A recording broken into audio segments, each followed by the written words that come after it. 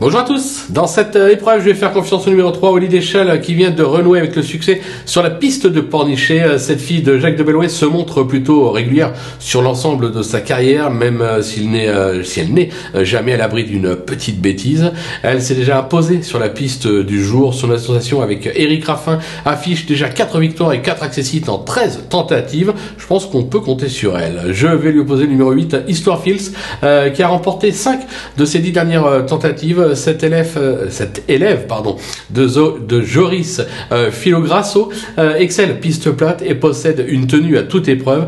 Elle bénéficie d'un bel engagement, de nouveaux pieds nus. Elle doit lutter pour la gagne. Voilà, on y arrive à la fin de cette émission. Et en plus, je pense que je vous ai donné peut-être le couplet de la course. Maintenant, c'est à vous de jouer. Surtout, n'hésitez pas de liker, de vous abonner à la chaîne. Et tout de suite, on se retrouve pour un nouveau côté code. Attention, c'est le quintet.